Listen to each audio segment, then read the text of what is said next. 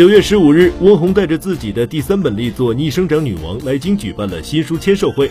当天，温虹不仅现场为粉丝亲手制作养颜果汁，还在老公和女儿的陪伴下度过了自己四十五岁的生日。俗话说，男人四十一枝花，女人四十豆腐渣。虽然到了豆腐渣的年纪，但是温虹却依然有着少女的身材和肤质。但温虹透露，她能勤于保养，跟她老公毒蛇般的羞辱有着密不可分的关系。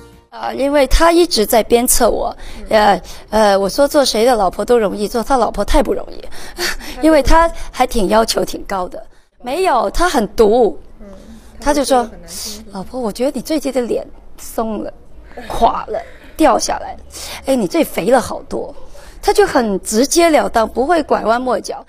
我听了之后，好，谢谢，我知道了。我我能说什么？我也说不了什么。温虹老公刘伦浩比温虹小两岁，由于致力于健康产业，因此也是个保养达人。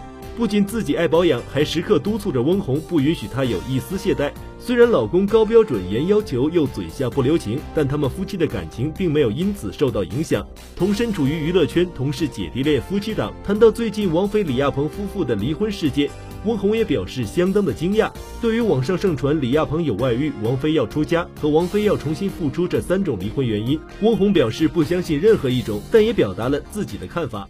当然，我跟所有人。都一样，都很吃惊，也觉得很惋惜，哦。可是我觉得，既然他们有这个决定，肯定也是深思熟虑过的，呃，他因为也能评估到出来的效果和后果。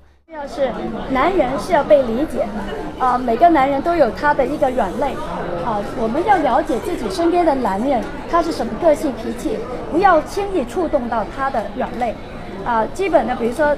男人的尊严和自尊心，我们应该要是去尊重。然后，同样，女人是需要被了解，所以也要了解你身边的女性，你的爱的女人，她的一些的细节。他们的危机公关处理得很好，就是我觉得他们各自都做的挺好的。东星娱乐整理报道。